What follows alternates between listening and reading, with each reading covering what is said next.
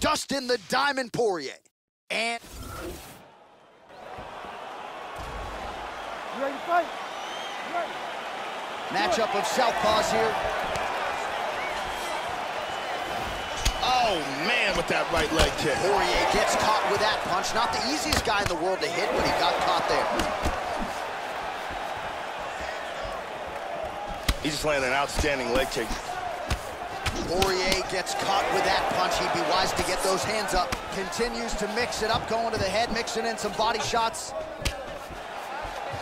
He's got a beautiful leg kick. Poirier gets caught with that punch. He'd be wise to get those hands up, These Joe. guys are going at it here right away, trading blows.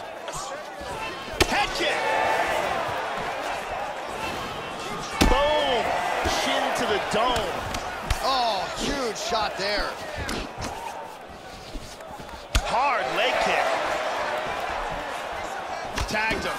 Well, his opponent's got the read now, Joe, as he lands the punch to the head. He's got to change up his striking pattern and the tempo, or he's going to continue to be vulnerable to that counter.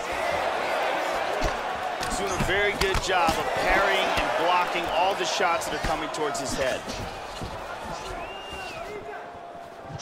Oh, just missed on the overhand left. That might have done some damage.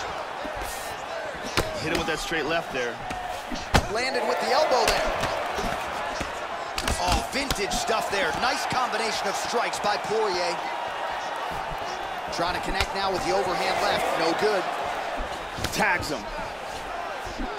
Oh, blocks the shot. They are, oh! This could be it right here. Oh, straight right.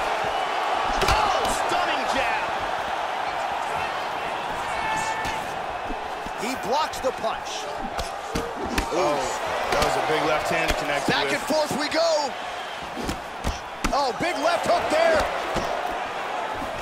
Oh, He rocked him. Man, this could be it.